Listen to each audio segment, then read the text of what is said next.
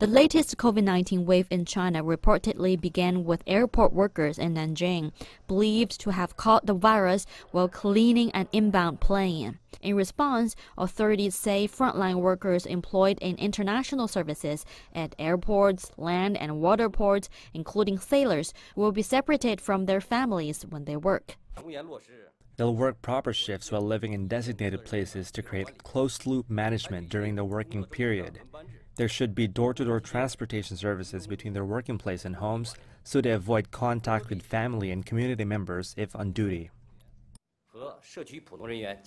Authorities say China will not issue exit and entry documents, including ordinary passports for citizens whose travel needs are not necessary, but there are exceptions.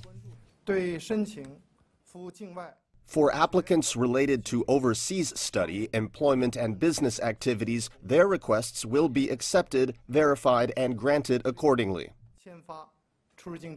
The official says China will strengthen joint work with bordering countries to prevent imported cases from illegal immigrants. International mail, especially cold chain products, will be closely checked and handled in areas separate from domestic ones. 吴国秀，CGTN，北京。